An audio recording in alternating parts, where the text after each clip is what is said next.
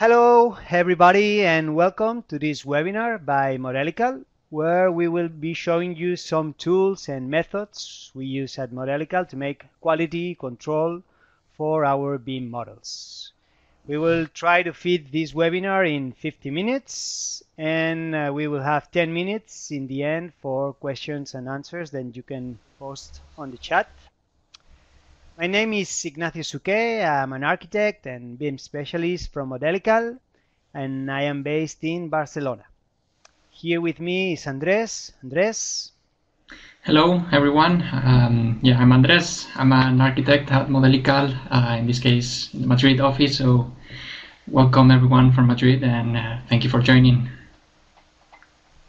Okay, so we're gonna start this webinar with a famous image.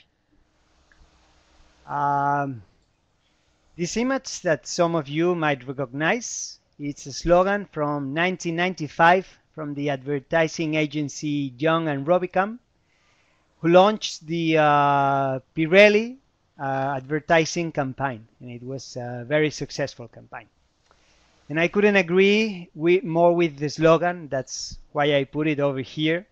Because if we transfer this analogy to the AEC sector, we will agree that BIM is a very powerful methodology, but it needs control.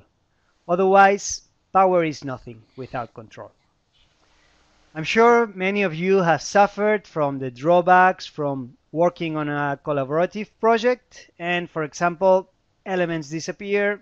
You cannot find the element because it's been created in the wrong work set.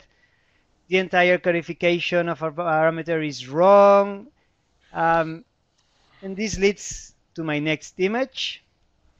This is Ben Parker saying to his nephew Peter Parker, aka Spider-Man, with great power comes great responsibility.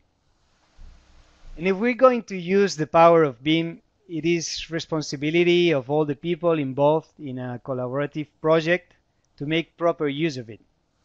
So the information can flow fluently amongst all users and throughout all different phases of the project. And this involves having people who know how to use tools, who know how to work in a collaborative environment, who are aware of the BIM protocol in general, who follow the rules of the game. No? That's why we have BIM standards that dictate these rules, and, and everybody must follow them if they want to work in collaborative. There must be a well-defined IT, hardware, and software infrastructure, so everything is under control. A defined communication strategy between all agents involved based on a common data environment for documentation management, issue management, models delivery, and there must be a set of documents dictating these BIM standards, such as the BIM execution plan or the employees information requirements, BIM implementation plan, or others like best practices manual, data strategy, and in general, everything that defines the standards to follow. But even though all this is well defined and everybody commits to it, doesn't mean it's going to work well. We're human beings and errors can occur, and even more when there is many people with different backgrounds and from different companies working together. That's why we have to make quality control during all phases of the project.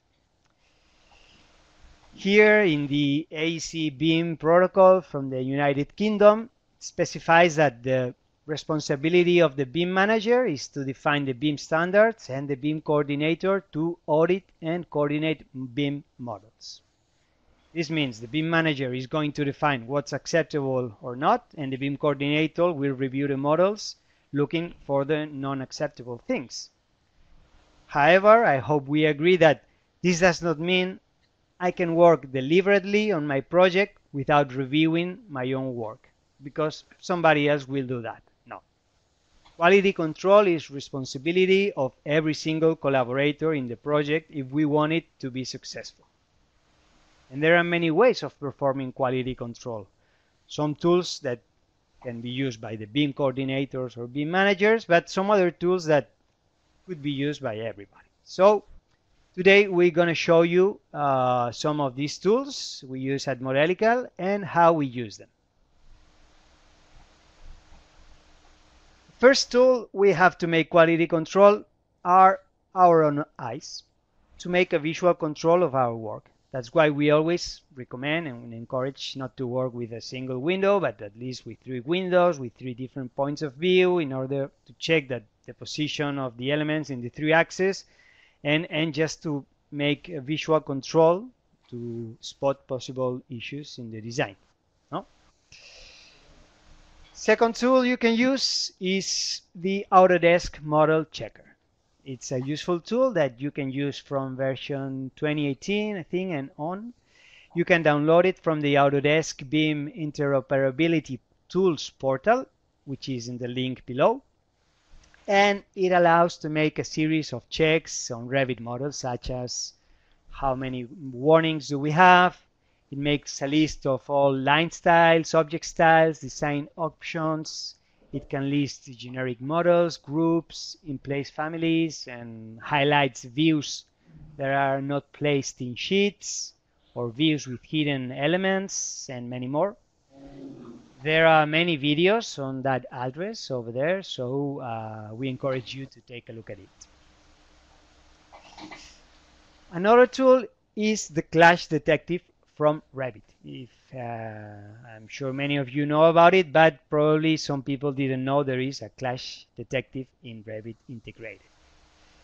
Um, in the BIM context, clash detection, as we all know, is related to finding collisions between elements by automatic means. And with this way, we avoid uh, construction issues on field during the during the design and pre-construction. We avoid these issues during the construction. There are three types of clashes. The hard clashes are those referring to objects interfering in the same space. There are soft clashes that refers to objects that interfere with the clearance space from other objects. This means that that space could be used for operation, for safety reasons, for maintenance, and if there is another object interfering in that space, that's called a soft clash. And there are other type of clashes called gray clashes, also known as 4D clashes and these are related to scheduling and to delivery clashes um, related to project timeline issues. So uh, Revit has a very simple clash detector integrated in the Collaborate tab called Interference Check. Um, it allows to make hard clashes in between elements from your model and or from linked files and it exports a report in an HTML uh, format. It's simple tool, but useful. The next tool to make quality control is Navisworks. I'm sure most of you know about the power of this tool uh, to detect clashes by automatic means. I'm not going to take time to explain all its capabilities. Instead of that, today Andres will be showing you on a demo how we make clashes using this tool. Um, if there is people not seeing anything, we recommend you to download the Adobe Connect app instead of uh, watching you uh, uh, instead of watching the webinar on the web okay? If Gonzalo can answer on the chat um, he will indicate you how to do that. Um, what else? Dynamo. Dynamo is a powerful tool that allows you to program all kind of functionalities therefore it can be used as a quality control tool too, as well and today Andres will show you how we use Dynamo together with Navisworks to locate interferences in the Revit models. Then we have quality control using rules. And there is a powerful software called Solibri. And quality control using rules goes beyond the classic clash detection since it allows to control the BIM models using a large number of rules with multiple parameters. It allows to make clash detection plus data verification, verify compliance with the guidelines, verify egress routes, construction safety, um, construction site safety. It allows to compare model versions and many more. Today I will be showing you uh, on a demo how we use this tool uh, for making quality control by using rules. Next one, the BCF Manager from BIM Collab is a very useful tool that allows to create and manage BCF files. BCF stands for BIM Collaboration Format. It's a file format that contains graphical, numerical, textual information about issues, no? And it's it's suited for, for tracking and managing the, the issues in BIM. These files can be created by uh, any of these quality control softwares we have seen, such as Navisworks or Solibri, and they can be synchronized into uh, issue management portal such as BIM Collab that it's in the cloud.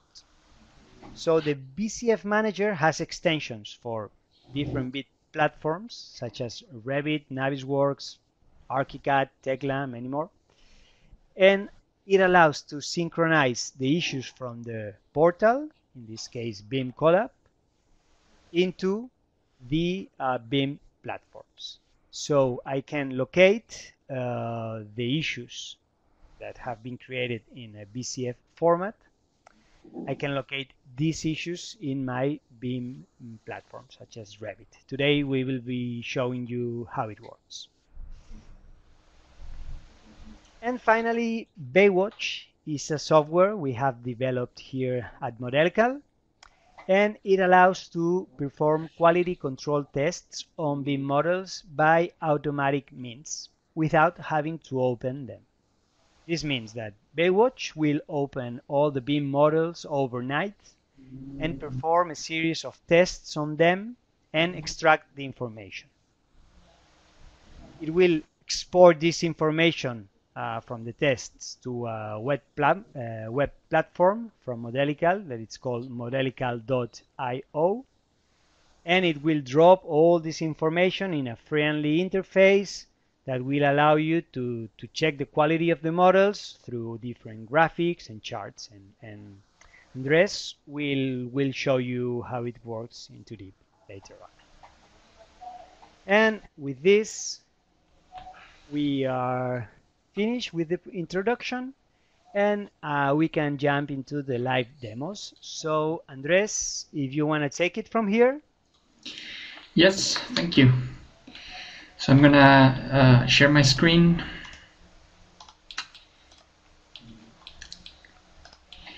Yeah, I believe you're seeing Navisworks now. Yep.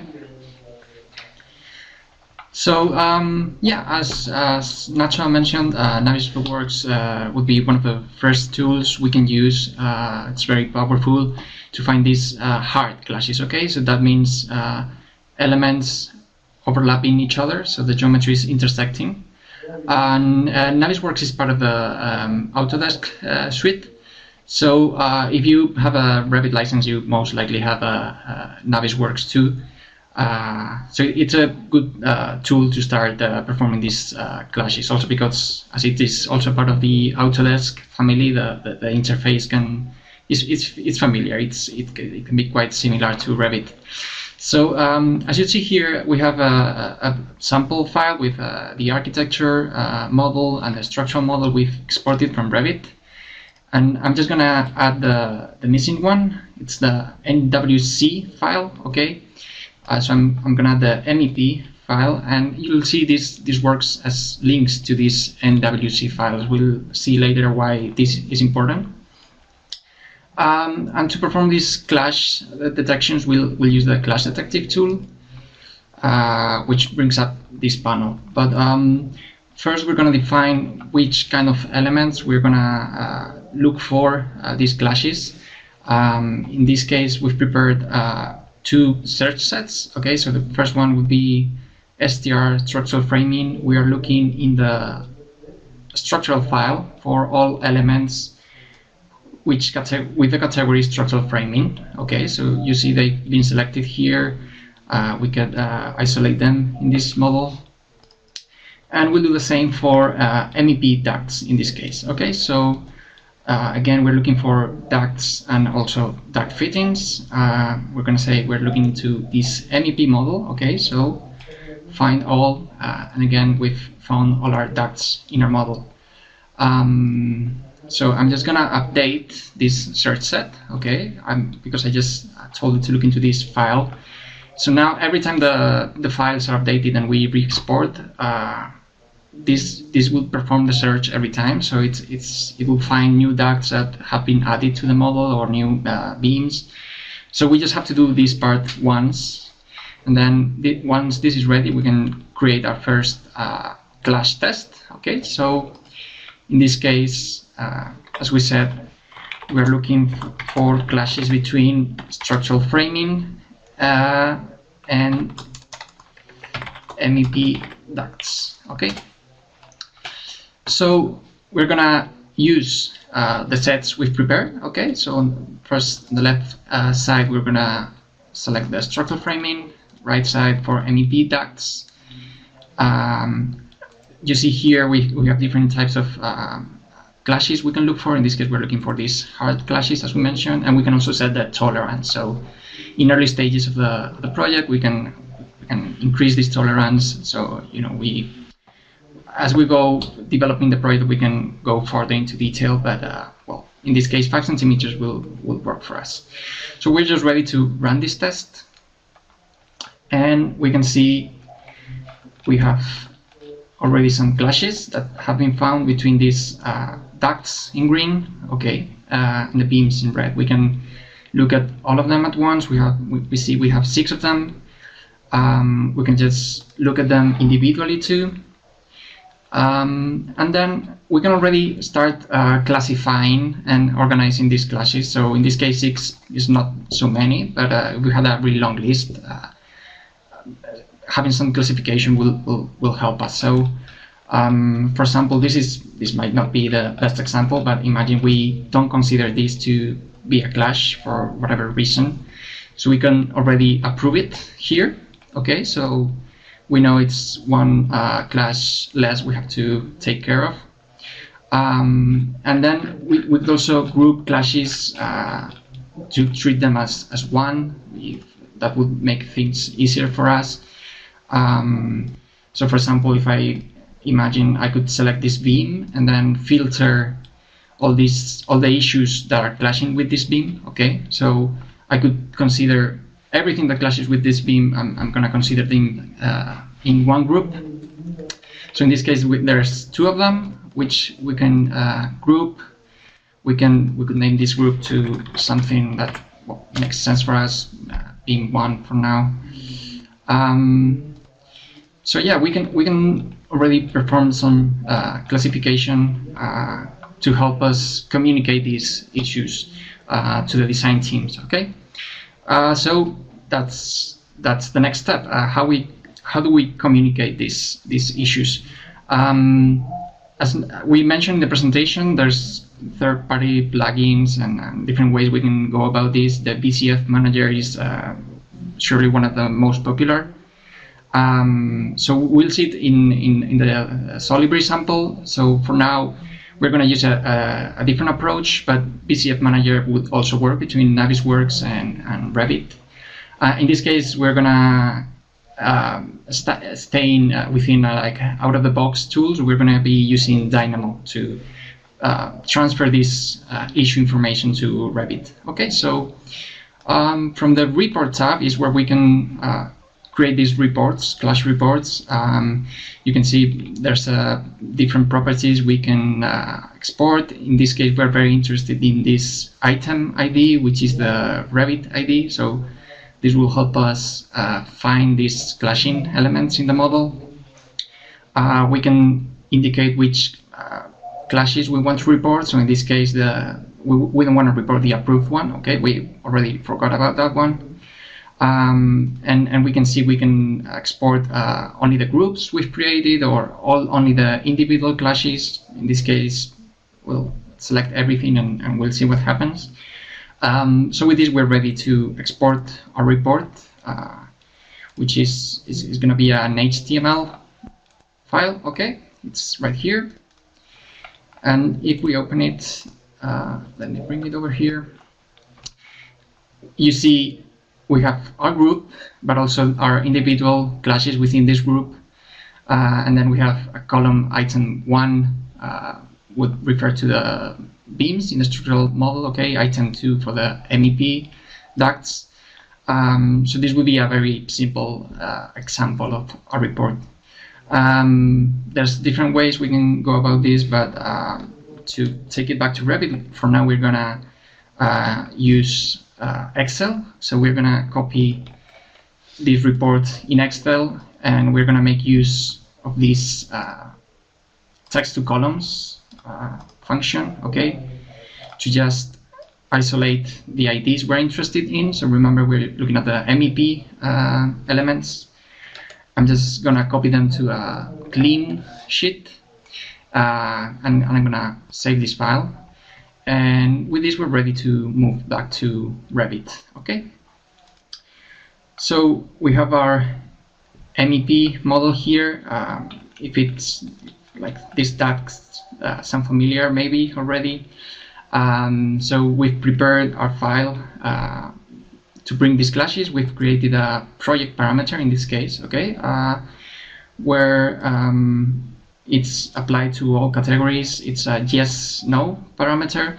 So what we're going to do is uh, all those clashing parameters, we're going to uh, mark them with this parameter so we can identify them. Okay, so you see um, this, this one uh, has the parameter, it's not checked yet, but uh, we could use uh, Dynamo to automatically read this uh, list of IDs and set these parameters. So just to go over the definition, it's quite simple. It's it's looking for the Excel file, uh, sheet one.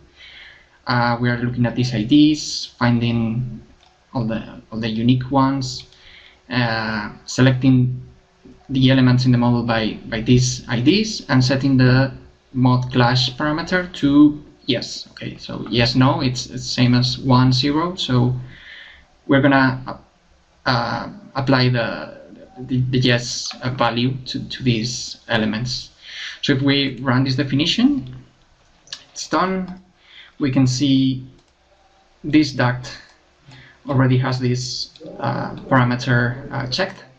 And from here, again, it's it's it's very open. Uh, whatever workflow works best for anyone. Um, just as an example, we've prepared two views. Okay, so um, first we're looking at the Revit uh, link of the structural model um, in 50% well, uh, transparency, and in this case we're using a filter. So we are hiding all the elements that are not clashing. Okay, so this might sound familiar from the Navisworks file. These were the clashing elements. Uh, we could we can clearly see how they're clashing with the beams, right? Um, but yeah, like that, we can go about it in different ways. Like uh, in this case, for example, we don't have much context information, so uh, we prepare another view where, uh, in this case, we're using uh, we, we're we're seeing those uh, elements we were previously hiding, but the ones that are clashing, we're painting them red, so we can clearly see them. Okay. So, um, well, just to uh, see the, the like the whole process, we're gonna uh, avoid this clash. Of course, in a real project we would be more careful than this, but uh, we'll see how we can fix. Once we fix these uh, clashes, we can take them back to Navisworks. Okay, so I'm gonna go to this clean view from which I can uh, export my uh, file in NWC format um, I'm just gonna close the this file we had. Uh, otherwise, if we try to overwrite the uh, the link, we will get an error. But we yeah we can simply overwrite this file. Okay. And um, yeah, so back in Navisworks, we'll, we'll, we'll see how this is performed. Sorry, you are not seeing this, well, this little window with the progress. Uh, MEP files usually take a bit longer just because of the large amount of elements we usually have, but it's still, it's, it's not uh, a really big, uh, it's not, it doesn't take so long. Um, so yeah, it's, we'll wait for this to finish. It shouldn't take much longer. Um, as you see, this is like a very basic workflow using uh, simple tools. Um, so yeah, we'll, we'll have some time at the end of the webinar for questions if anything wasn't clear. And once this is ready, we'll see the result in Navisworks. Um, also, if you have any questions, you can uh, type, you can write them in the chat. We'll, we'll take a look and we'll leave them for the end. I think this is ready now. Uh, we can just go back to Navisworks, open the our file again. Okay. And now we see we get a warning sign for this clash test because the model has changed. Okay, so it, it's telling us that there's there's been changes to the model, so uh, we might want to review these clashes. So yeah, we're gonna update it, and we see these three issues have been resolved. We we go, we go back to the results. We see these uh, well, you see these two clashes, and also the the group which is counting as one. So that's three resolved file uh, clashes uh, so we can automatically keep track of them. Uh, of course, they approved, we didn't care about it. And the last remaining clash uh, has changed from new to active. So this is telling us that it's not um, a class uh, that is new because of the, the latest uh, version of the file.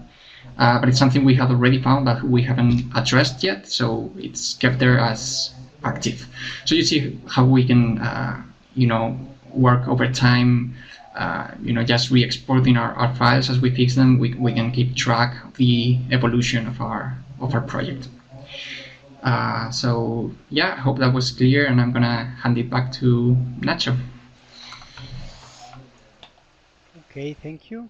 Can I have the screen, please, Andres? Yeah. Okay, I think it was very clear. Thank you very much. Now you should be seeing my screen and you should be seeing a BIM model in Revit. Um, I'm going to explain how we use, how we make quality control of BIM models in um, Solibri by using uh, parametric rules. Here um, we're going to be using this sample BIM model, which is the New New York, the new museum in New York by Sanaa Architects and I'm opening I'm opening first in Revit because um, Solibri only can import it can only import IFC files. Therefore, um, the first step for making quality control in Solibri is to make a proper IFC export. So remember, this means having correct mapping having the correct mapping, IFC mapping classes loaded. And when we export, modify your settings in order uh, according to your needs. No? Um, here I have two additional buttons that they do not come by default in Revit. This is because I have downloaded this IFC export for Revit from the SourceForge um, website. And it is very useful because it allows me to change all the settings and save this into a JSON file. For example, let's call it IFC export settings. Okay, so next time I want to export my IFC file, I can just come here and um, open this this JSON file. Okay, but that's not why we use it. Um, I wanted to explain you this this JSON file because for exporting IFC files we use our own tool in Modelical It's an IFC batch export called Bone Collector that allows me to export several uh, BIM models at, uh, at once. So I will add a new export. Export folder would be the desktop. And here I, down, I can upload the JSON file with all the settings of my export. And over here, I can come and I can upload as many BIM models I want. This way, it will uh, export all the IFCs at once instead of having to open model by model and exporting the IFC manually. Okay, so let's assume I have already exported my IFC files and let's jump into Revit, into Solibri, sorry. This is Solibri and here I have two IFC files from this uh, Revit model. This one is related to the architecture with the curtain walls and this one is related relates to the structure of the building. Okay. And um, I'm gonna be doing a quality control using rules what's a rule rule it's a series of conditions or requirements that will check the model and the model needs to comply with these requirements. If the model does not comply with these conditions, it will return a possible issue. No? Here I have my rule set containing all the rules I want to check. And now with this button, I will check the model and the program will start thinking and will start reviewing the model to check if it complies with those conditions. As you can see, it went very fast because it's a small model and we have many, uh, we have little few rules in this case. But we can see that some of them have been passed and some of them have some issues indicated through these um, red and yellow triangles. So let's see what we have checked over here. The first rule we were checking it was that formatting of models naming is consistent. This rule checks that the model names are in accordance with the BIM execution plan specifications. Okay? If I go to see the parameters of this rule, it says that the name of the files have to follow this format. Well, here I had two files, both of them follow that format, Therefore, the format is okay and the rule has been passed. That's why it says okay. Perfect. Next rule contains spaces between construction elements. This rule checks spaces and it checks that the geometry and the location is correct. It checks that the that the space, as we know in Revit as room, it lies within walls, columns, it has a slab underneath, and it checks also that the uh, maximum allowed for an unallocated space it's half a square meter.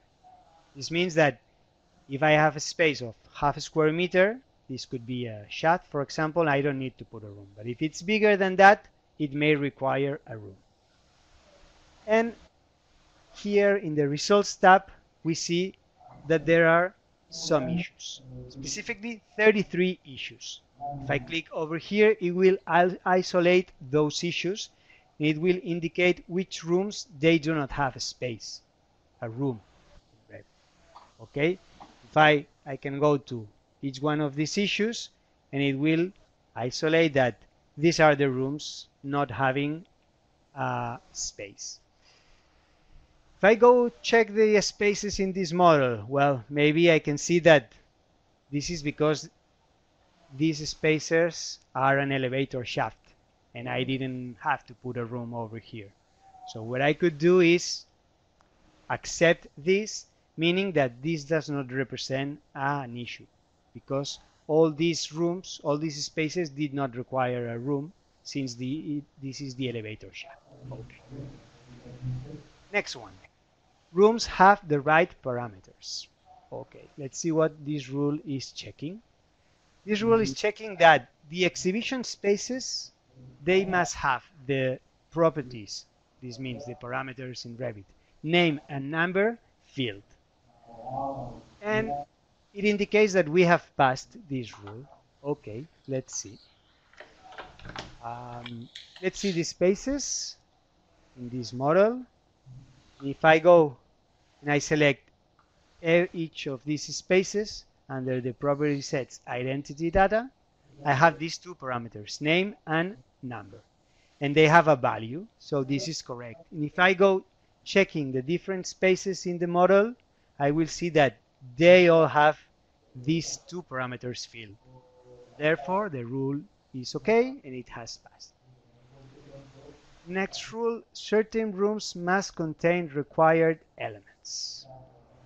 This rule is checking that the exterior spaces must have at least one piece of furniture, minimum one, and a maximum of 30 pieces of furniture. Let's see what we have over here.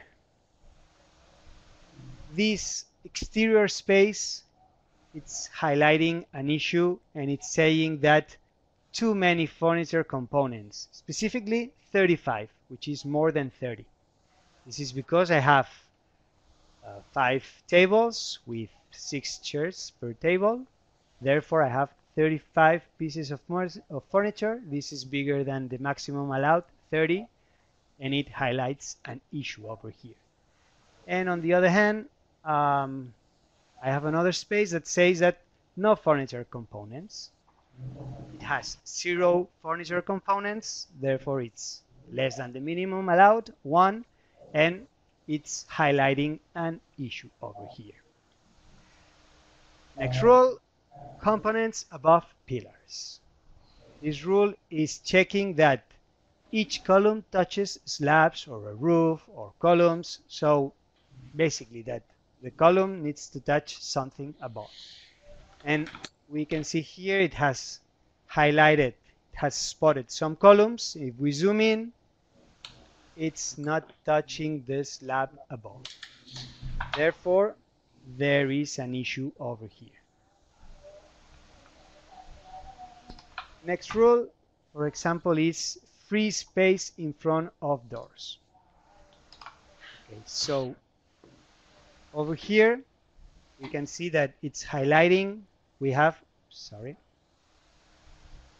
we have a chair on the way of the door. This could mean that the, the door could not operate or there is no not enough clearance to access this door. And it's indicating the dimensions of this soft clash. Therefore, there is an issue over here. Another issue, it's highlighting that there is this ceiling, this suspended ceiling, in the way uh, of the door. This is because we can see the height of the ceiling is not correct. Therefore, we have another issue over here. And another issue is that there is a door interfering with a wall. This is a bigger problem than having something on the in, in the clearance of the door. This is a collision between two elements. Therefore, the correct rule to check this issue would be next one we're going to see over here collisions with doors this rule it's it's checking that doors and um, are, are uh, colliding and interfering with any other element and here it's it's saying that yeah definitely we have a door that it's interfering with a wall why am uh, I am explaining these two rules this is to explain you the gatekeeper rules. It's, uh, it's uh, more complicated. Therefore, with these two rules, it will allow it will allow me to to explain it better. Um, since I don't I want to check the free space in front of the doors, but I don't want to check these kind of issues, meaning doors that are colliding with a wall. I will use first the collision with doors and only for those elements that pass this rule, meaning this door is not passing this rule, I will check the second rule, which is free space in front of the doors. So over here, if we see, I have passed this rule first. This door didn't pass this rule. And now I am checking this second rule, the free space in front of doors. And over here, I have the suspended ceiling that was on the wrong height. And I have the chair in front of the door. But I do not have the door that was interfering with the wall. That's the way we use the gatekeeper rules and it's a very useful tool to filter the kind of issues we want to track. Okay?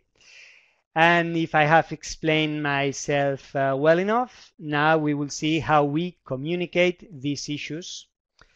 Um, in order to communicate an issue, let's take this one, for example, I have to make what it's called a slide. Slide, it contains some graphical, textual, numerical information about the issue.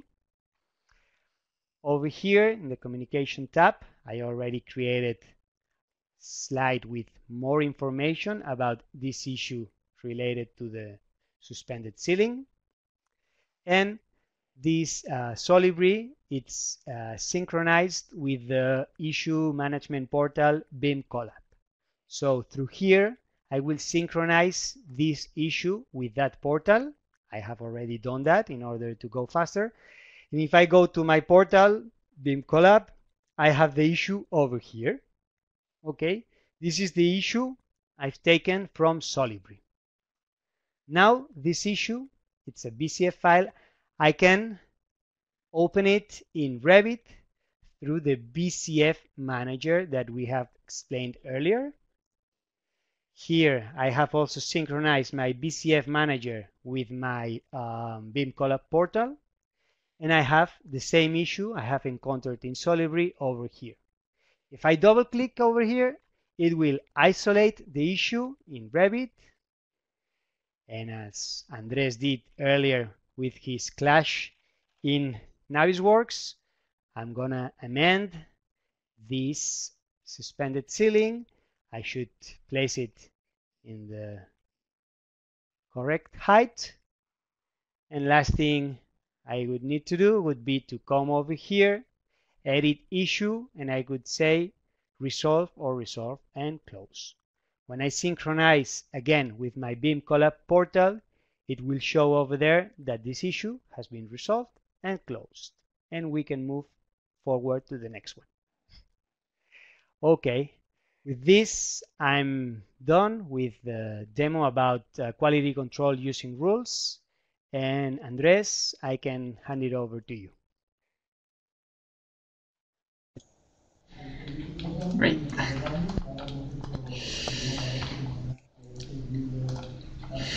So I, I believe you're uh, seeing my screen now uh, with uh, Baywatch um, so yes, uh, Nacho mentioned and explained before um, uh, briefly, Baywatch is a, a, tool we have developed in Modelical uh, that helps us. We use it in our, our, projects, especially the large ones with many, many different models.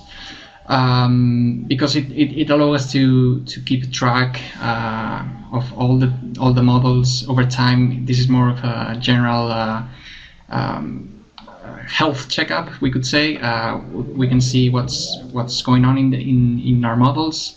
Uh, so there's uh, three parts to it. The first one uh, would be a Revit add-in, uh, which we can uh, configure to open a set of models at a determined time. We usually do it late at night. Um, and open these models automatically extract information uh, and then uh, take it to the second part of Baywatch, which would be this uh, web interface. Okay, so we can consume all this information uh, directly from a web browser from uh, anywhere without the need to open our model. So as you see, one of the first things we have is this analysis timeline, uh, where we can see we were performing uh, checks every day at 3 a.m. So June 11, June 12. Again, we do this to make sure everyone's done for the day and no one's working on the models anymore. Uh, and so we can have it ready uh, in the morning. So uh, you know the BIM manager or BIM coordinator can uh, start his day like reviewing uh, the general uh, status of the models. So here we have a, a, basic basic example where we have some tests that we're running on these models. We have a, like a summary here showing um, the percentage of tests that are approved, the ones that are not and also like a general score, uh, just as a super brief summary. But we also have this uh, project section here where we can see uh, the model we're looking at, the, the, the type of, well, the, the test, uh, and also the uh, value. So for example, in this first case, uh, it, it's a file size test. So basically we're checking for the file size, which is usually a requirement in, in most projects. In, in this case, we've set up a limit of well, this is in bytes, so 200 megabytes for an RVT file. Uh, this AR architecture model is 56 megabytes, so course this test is approved, accepted. Uh, we also have some other tests, like uh, this one, we don't want too many line patterns in our models because they take up uh, memory. Uh, so we've set up a limit, which in this case is over it, uh, but we do not consider it to be a critical issue. So in this case, we take it as a, an accepted with comments uh, result, and we can provide a, a message uh, for whoever is reviewing this to, to know why uh, this is uh, wrong or a bit wrong in this case. Uh, and then some other tests, like this one is not accepted at all. Uh, so we don't want groups in this project we've said that we don't want groups in models, so uh, we have too many of them, uh, it's not accepted. So we could, uh, you know, we could filter, for example, for a, a single rule, so we can uh, have a quick overview of all the models and, and what's their status, or we can uh, go straight to, to see where, where the problems are. Um, it's, it's very flexible uh, and, and you know it's a really quick overview of, uh, of the, the whole project when, when there are many models that uh, uh, make up this project. Um, we also have another type of uh, test over here, which is a report of how many elements there are in each workset. Uh, in each case, in, in this case, we we're also including like uh, internal worksets, not user-created worksets. So there's too many of them here now, but we could also filter for these um, user created uh, worksets only. So, you know, typical, we can look for how many elements, uh, structural elements are in architecture workset, which would be a, a mistake, for example. Um, so this would be the general report, but we also have a series of uh, tabs here, uh, which show uh, a, a, view of the model in uh, through time. Okay, so um, for example, here this is the test for instance, instances, so we can see how many instances there are in, in each model. They are color-coded over here. And you see we have a point for each of these analyses over time. So it's also a very visual way to try to identify problems. If we see the sudden spike in one of these graphics, we, we can suspect there's a, a problem. Um, and the, tests are classified uh, in different tabs, uh, different groups. I like this one because it shows that uh, someone did a, a, good job, right, in uh, reducing the number of in-place families from, in this case, uh, 231 in June 6th to zero in June 14. Okay. And we have one last type of uh, report, which is the warnings. We can classify them by type. So, um, so for example, wall overlapping walls, we can see how many of them are in, in each model, or we can also look at warnings per model. Okay, so we can see this architecture model uh, has too many warnings. Uh, this, kind of graphics will, will give us an idea of uh, which models to tackle first.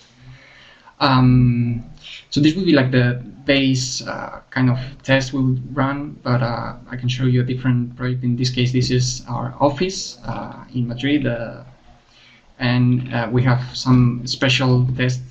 In this case, we also have a parameter report. So uh, for a series of parameters that are especially interesting for us. Uh, we want to review in this case either if they are uh, empty or not, or we can use in this case regular expressions to uh, to check if if the values of these parameters comply uh, with the values that we have established. So in this case, we're looking um, all the values for this mod beam ID parameter should be MMA followed by six digits. And we can see we have, uh, well, too many uh, elements that are not complying with uh, this rule. We can also look at um, parameters that are empty, that should be uh, should have a value.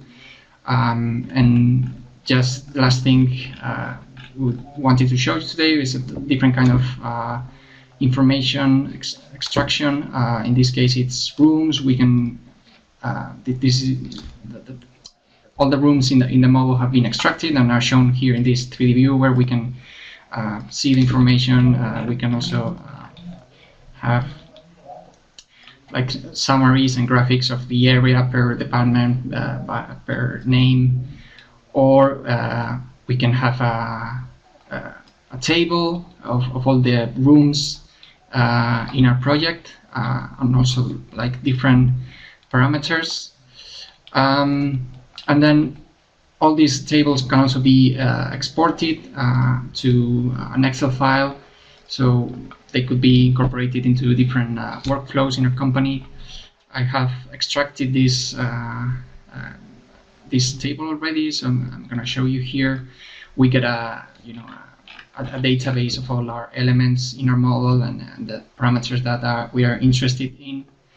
Uh, so in, in, this case, with, in this project with uh, all these parameter tests, we, we could also think of other uses for Baywatch. It's not maybe a BIM coordinator, but maybe a, a more uh, business uh, person who doesn't know about Revit but still wants to know the like the, the areas and, and spaces that are being developed in the project. Uh, so he doesn't need to open the models. He can just uh, access uh, Baywatch from any web browser and have this information.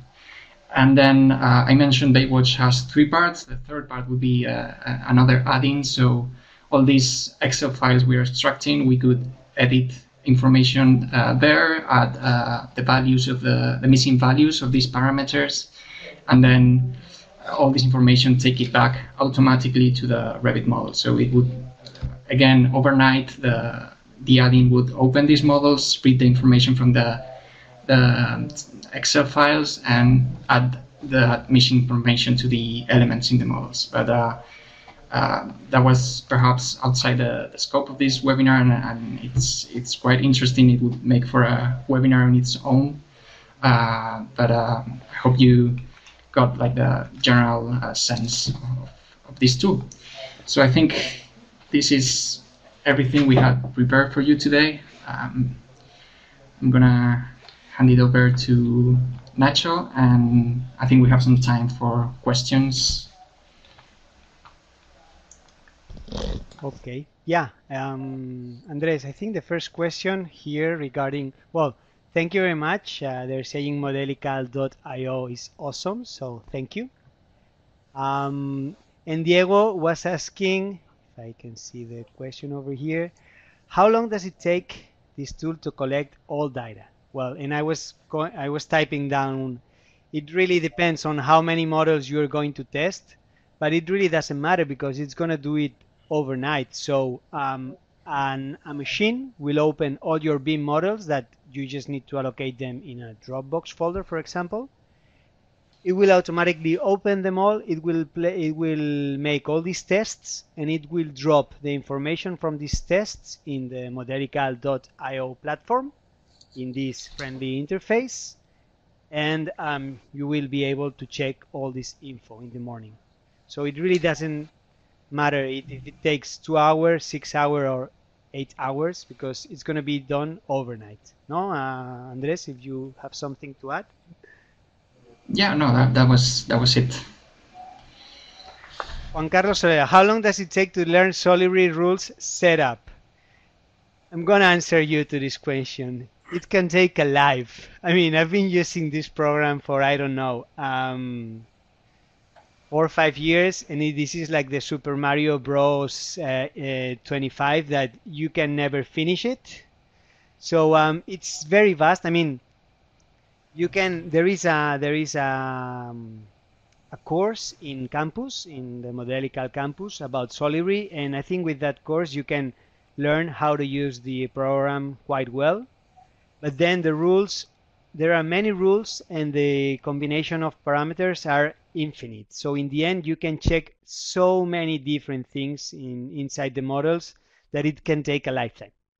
But that's what is good from the program, and that's what also it's it encourages you it encourages you to learn more about it. Thank you, Narciso. I if you have seen it, thank you. I'm saying it because it's me who is do, uh, who is doing it, so I encourage you all to see it. thank you, Narciso. Um, did you spot any other questions, Andres?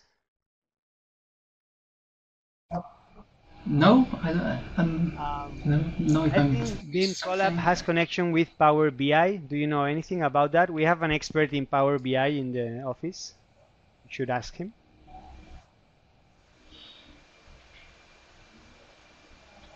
I don't know if there's a direct connection, but um, from BIM Collab you can also extract uh, the issues in different formats. So I, I believe if if you extract it in Excel, then from- Power BI you can also query that uh, Excel file. But there might be a direct connection. I'm not sure about that one.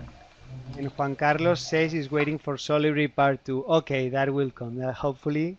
But uh, it has to be as good as the Godfather too, because you know second parts are never that good. So um, we, I will we will try to make a, a good one.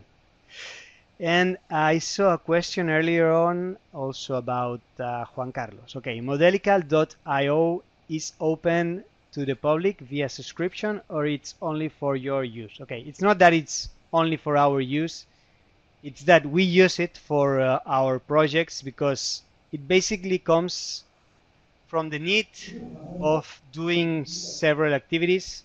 For example, this uh, Baywatch tool came I don't know if it was particularly from a large scale project of a big stadium. It had 75 Revit models. So imagine if you have to control, you're the BIM manager and you have to control these 75 Revit models with 200 people from 21 different subcontractor subcontracting companies working on them. It's it's a nightmare. And we developed this tool and the BIM manager could easily in the morning check throughout these charts and these graphics the evolution of the models. And whenever a model was going crazy he could go to the responsible of that model and highlight that there are these issues and these other issues. So it is basically a tool we use ourselves for our clients and that our clients use as well but um, if you're interested in it, uh, feel free to contact us and we can show you. It has some other functionalities. We can show you what it does and and let's see if, uh, if you want to use it. Um, Alberto has added in the chat that there is uh, BIM Collab uh, Power BI connector. So okay. yeah, thank you, Alberto. Um, regards from Costa Rica. Okay, we're glad we are being seen from different parts of the world. Thank you, Michal, Taras. Um, glad you came. okay, and um, yeah, thank you very much to all participants. Um, we are past seven. We intend not to take you more than one hour of your time. Uh, I hope you enjoyed this webinar. Andres, you want to add anything? Yeah, no, thank you, thank you, everyone, and have a good uh, evening, morning, uh, wherever you are. Uh, have a good day. Okay, here in the screen you can see our uh, email addresses, so feel free to contact us if you have further questions. And it's been a wonderful experience for us to share this knowledge with you. I hope you can make it to the next webinars. Uh, hopefully, will be coming soon. Okay, everybody. Thank you very much. Bye bye. Thank you.